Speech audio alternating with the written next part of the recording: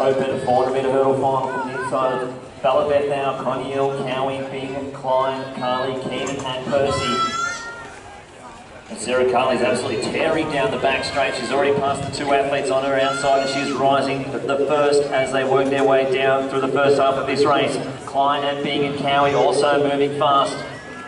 But it is Sarah Carli on the outside, rising first, Bing starting to come into the picture. Counts not going too far away though. And here comes Mackenzie Keenan on the outside. But it's Carley rising first over the seventh hurdle. And she's going to lead this field into the home straight got Sara Klein on the inside. Bing's not out of the picture though either. And they start to straighten up. It's three across the track.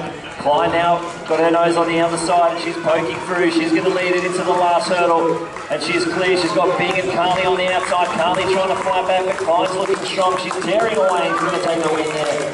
55, 84. I can wait to see the official winning time there. That is a fast race from Sara Klein.